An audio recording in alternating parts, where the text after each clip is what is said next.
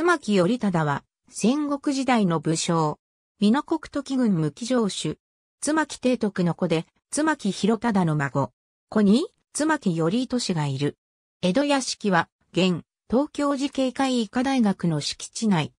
天正十年本能寺の変の後に起きた山崎の戦いで祖父の広忠が自陣し、織田信長の馬回りであった父の帝徳も、美濃国向村で隠居したため、頼忠が無期城を継ぐことになった。その頃、森長吉が蟹軍、鴨軍内の反抗する勢力の総統を開始。これを平定した森長吉はさらに、時軍、江名軍にも侵略の手を伸ばし、手始めに高山城主、平井頼母に死者を送り、城を明け渡すように要求したが、これに応じなかったため自陣に追い込み、その後日田氏を入城させた。次に、無期城にも死者を送ったが、頼忠は拒否したので森長吉は、武前一の将を総大将とした兵を無期城に送った。頼忠は城の兵を集めて奮戦したが、勝てる見込みがなかったので、和議に持ち込み、森長吉の家臣になった。この時、人質として二人の弟ら無期一門らが、金山城下への移住を強制されている。また、一時的に無期城代は林ため、ただしとなっている。天正12年小牧、長久手の戦いの際に頼忠は、森長吉の家臣だったため豊臣秀吉側についた。愛知県春日井市と岐阜県多治見市の境にある、内津峠に布陣した。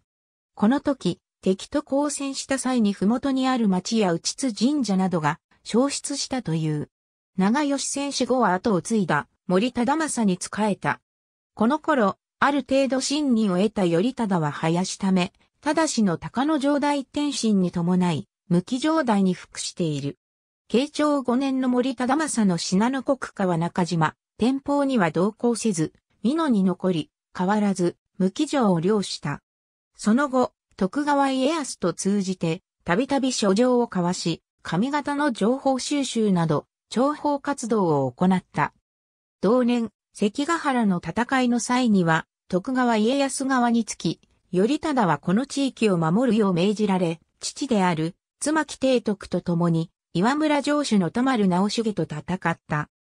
田丸直重の家臣である田丸門戸は無期城から近いところに砦を築き、諸将の行動を封じ鎮圧しようと試みたが、頼忠は岩崎城主である庭師寺を誘って、田丸領の各所に放火して対抗し、鉱山城の城攻めを図ったが、田丸軍は鉱山城に火を放ち時取りで退却して立てこもった。頼忠は田丸軍の退路を完全に遮断するため現在の水波市寺川戸町付近に砦を築いた。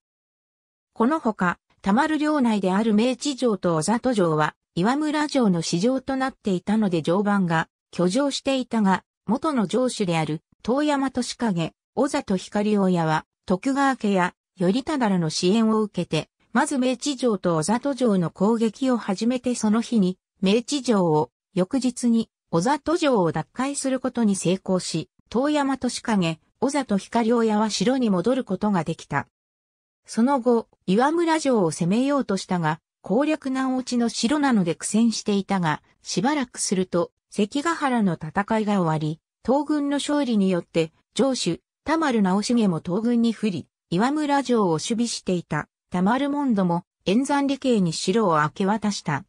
その先行により、慶長6年に頼忠は徳川家康から改めて時軍内7500国を所領として与えられた。その頃にはこの城はほとんど使用されず、妻木氏は山麓にある館にいた。その後、沢山城や加納城の不審奉行を務める。大阪夏の陣では、松平の利子吹の隊に属し、先行を挙げた。元那9年、59歳で死去。森氏家臣時代、向き、笠原、下石、ダチ、素木、細野、柿野、くじり、高田、やはり、大富、河合、時口、森長吉柿野号外、妻木伝兵領地、密流行藩物天正11年、江戸幕府旗本時代、向村、笠原村、下石村、時口村、久尻村、大富村、高山村、浅野村、多治見村中馬街道沿いを失い、国高としてもやや減っているため、関ヶ原の戦いの論考交渉は、妻木家にとって不満の残る内容だったと考えられる。ありがとうございます。